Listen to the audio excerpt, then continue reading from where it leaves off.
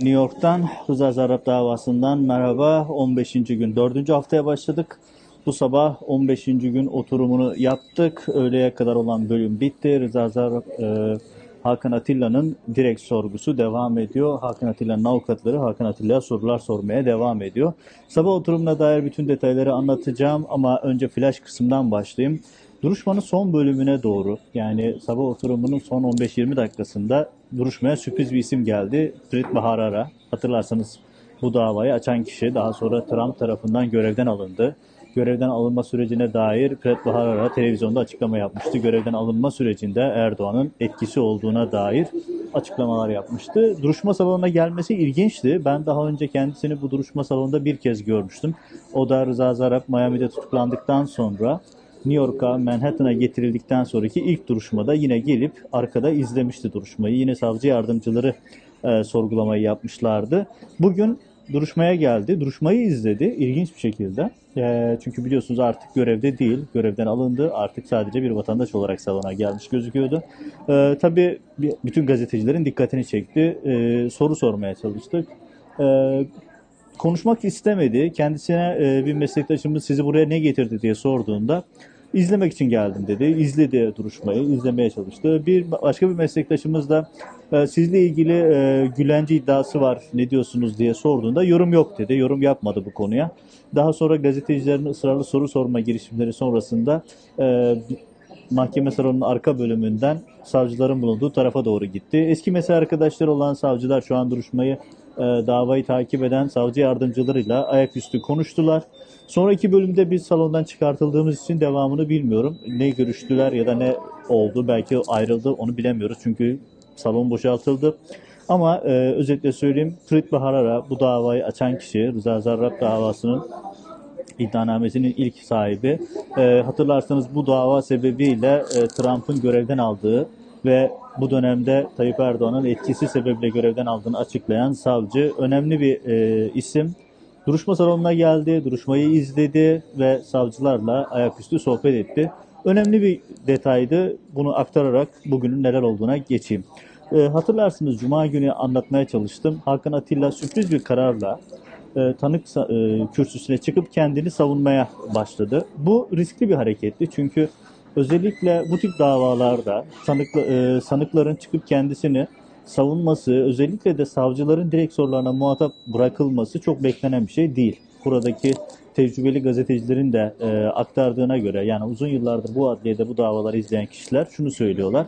Çok riskli bir hareket yaptı, kendini savunmak için çıktı ama bu aynı zamanda savcının öldürücü vuruşlarına muhatap kalmasını da yol açabilir demişlerdi. Şu ana kadar bunları görmedik. Neden? Çünkü şu ana kadar sadece Hakan Atilla'nın kendi avukatları soru soruyor. Çalışılan konular soruluyor. Dolayısıyla e, şu anda bir strateji izleniyor. Hatırlarsanız önceki bölümlerde aktarmaya çalıştım. Hakan Atilla'nın avukatları ısrarla şunu uygulamaya çalışıyorlar.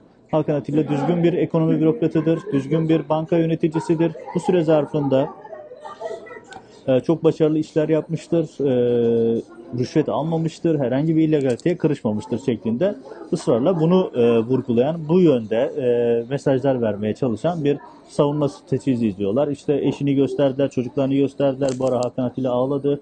Bu cuma günkünden özet geçiyorum. Bunu neden yapıyorum? Şundan dolayısıyla bugünkü savunmada aynı minvalde devam ediyor. Aslına bakılırsa enteresan bir strateji izliyor Atilla'nın avukatları. Şöyle ki, yani sabah oturumunda e, tam anlamıyla e, rakamlara boğulduk, bankacılık sistemlerine boğulduk. Sanıyorum Atilla'nın avukatları şöyle bir taktik izliyorlar. İşi tamamen teknik bir noktaya indirip tamamen yapılan işlemler, Hakan Atilla'nın attığı imzalar ya da görüşmeleri tamamıyla bankacılık sektörünün doğasında olan konular ve yapılan işlemler e, kanuna aykırı değil. Bunu anlatmaya, bunu göstermeye çalışıyorlar. Ama şöyle söyleyeyim yani konuyu bilen bir gazeteci olarak bile ben kayboldum. E, jürinin ne hale geldiğini düşünemiyorum. Çünkü birçok e, etrafındaki gazetecilerin de yorumu aynıydı. Yani herkes kayboldu. Rakamlar, mailler, bankacılık düzenlemeleri ve sorular açık uçlu gelip de Hakan Atilla her defasında uzun uzun açıklamaya başladığı zaman e, Hakim Berman müdahale etti. Soruları direkt sorsanız diye. Çünkü gerçekten iş bankacılık dersine döndü. Sabahtan öğleye kadar olan bütürümde. Neler vardı onları e, başlangıç itibariyle anlatmaya başlayayım. Sabah oturumunda dediğim gibi çok teknik boyutu ön planda olan fazlasıyla e, detaya boğulmuş bir e, duruşma izledik sabahtan öğleye kadar olan bölümde. Ama orada da detaylar vardı, önemli detaylar. Onları hızlıca aktarmaya çalışayım. Çünkü hemen duruşmaya geri döneceğim. Öğleden sonra e, hemen onu da aktarayım detay olarak. E, yaklaşık bir saat Hakan Atilla'nın avukatları Hakan Atilla sorular soracaklar. Arkasından çapraz sorguya geçilecek ve bu sefer savcılar Hakan Atilla sorular soracaklar. İşte tabiri caizse dananın kuyruğu orada kopacak. Eğer Hakan Atilla savcıların sorularında e, sağlıklı bir şekilde çıkabilirse belki de e, bundan sonraki döneme dair e, en kritik birkaç saatini yaşayacak diyebilirim Hakan Atilla için. Peki neler sordular? Hakan Atilla'ya avukatları e, Zarrab'la olan ilişkilerini sordular. O dedi ki ben hayatımın hiçbir döneminde Zarrab'la banka dışında görüşmedim. Sadece bankaya da müşteri olduğu için görüştüm. E, banka e, Hakan Atilla'ya temel suçlama şuydu. Bu ambargoyu delme sistematiğinin mimarı olduğu iddia ediliyordu. O da bunun böyle olmadığını, Hakan Atilla'nın e, Zarrab'la yaptığı görüşmelerin tamamının bankacılık sistemi içerisinde bir yeri olduğunu anlatmaya çalışıyor avukatlar. E, bu ara bir gözlemimi aktarayım. Eğer Hakan Atilla mı yoksa Zarrab mı? Hatırlarsınız daha önceki yayınlarda anlattım. Zarrab e, çizgiler, e, grafikler çizerek meseleyi anlatıyordu ve oldukça basit indirgeyerek anlatıyordu. Eğer ikisini kıyaslarsam Hakan Atilla mı yoksa Zarrab mı bankacılık sistemi daha yönetiyor dersem herhalde Zarrab olacaktır. Çünkü Zarrab çok daha basit indirgeyip jüriyi olaya e, dahil edebiliyordu. E, birçok noktada jüri gözlemlemeye çalıştım. Jürinin birçoğu fazlasıyla sıkılmış ve kaybolmuş görüntüdeydi. Yani çok fazla teknik bankacılık mevzuatına girildi. Bunu da herhalde bir taktik olarak yapıyor Zarrab'ın e, Hakan Atilla'nın avukatları. E, bir takım yazışmalar e, ekrana getirildi. Hatırlarsınız daha önce e, şunu çok sıklıkla söylüyordu. Amerikalılar uyardı ve bu uyarılara rağmen Hakan Atilla bunlara devam etti şeklinde ya da işte Halk Bankası illegal işlemleri devam etti şeklinde.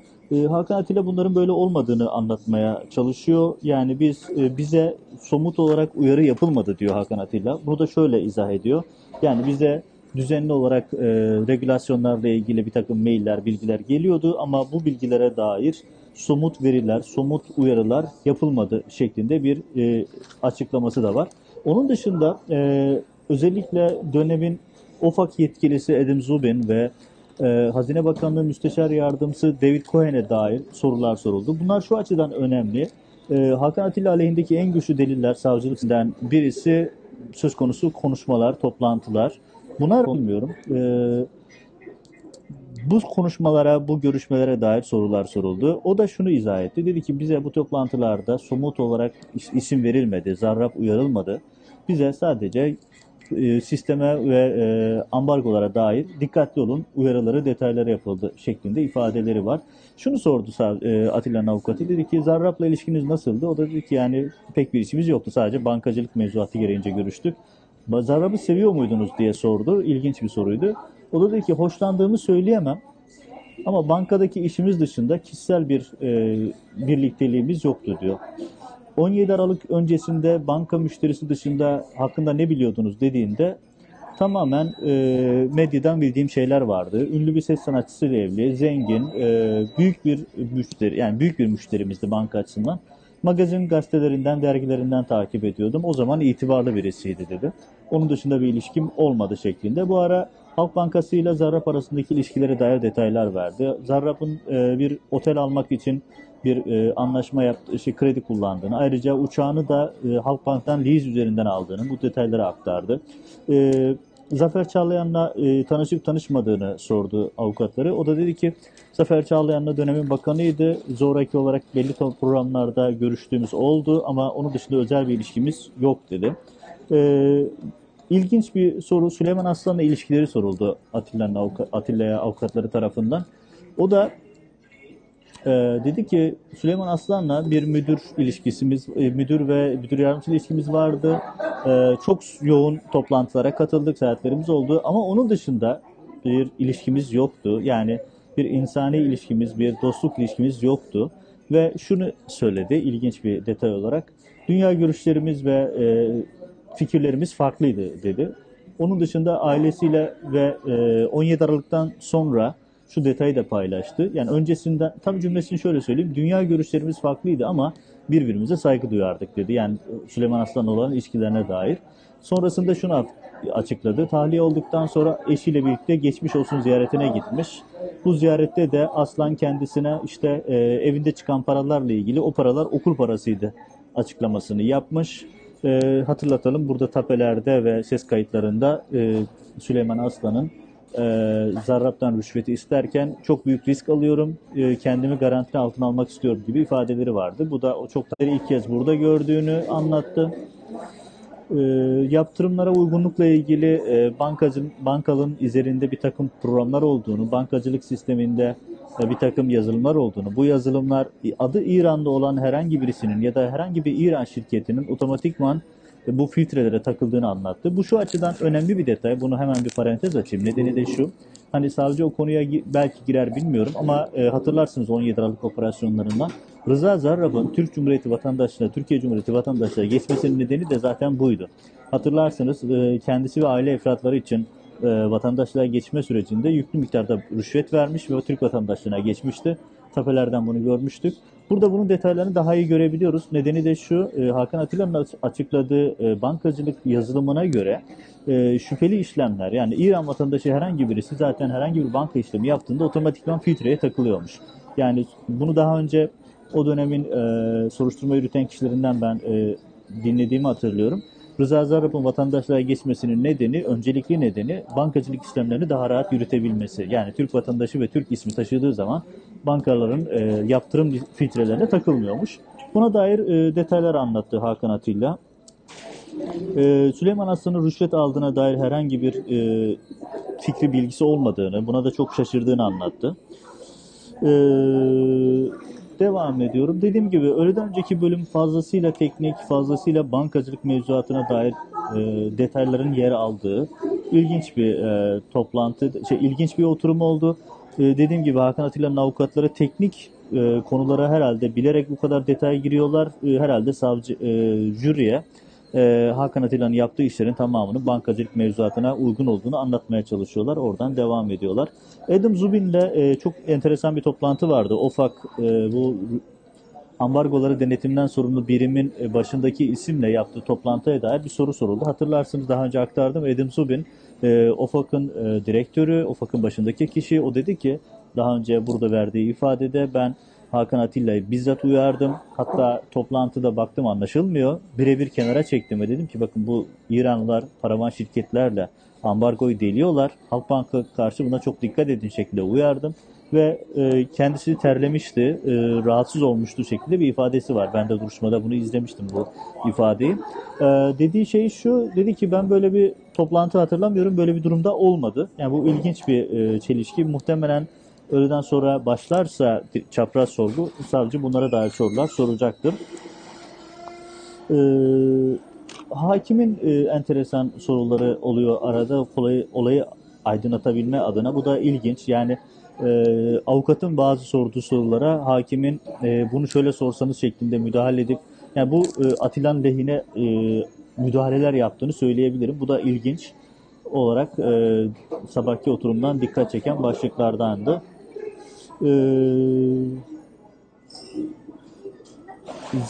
Hakan Atilla'ya 4 Ocak 2000 şey 4 Ekim 2012 tarihli toplantıya dair detaylar soruldu. Bu toplantı e, burada e, ambargonun nasıl deleceğine dair karar alındığı ile ilgili iddialar vardı. O dedi ki ben o toplantıya katılmadım. Burada bir yanlışlık var şeklinde. E, özetle teknik boyutları ön planda fazlasıyla bankacılık mevzuatı, uluslararası mevzuat ve yaptırım mevzuatı şeklinde Hakan Atilla'nın verdiği sorulara cevaplarla, e, sorulara verdiği cevaplarla geçirdik öyle oturumunu. E, unutmayalım, hatırlatayım. E, direkt sorgu Hakan Atilla'nın avukatları tarafından yapılıyor. Bu da e, şu demek, Hakan Atilla ile avukatları oturup bir strateji belirliyorlar. O strateji çerçevesinde sorular soruyor, Atilla da bu sorulara cevap veriyor. Dolayısıyla asıl e, ilginç sonuçları biz öğleden sonra çünkü duruşma biterken Atilla'nın avukatları yaklaşık bir saatlik bir soruya ihtiyacımız var dedi hakimin üzerine, e, sorusu üzerine.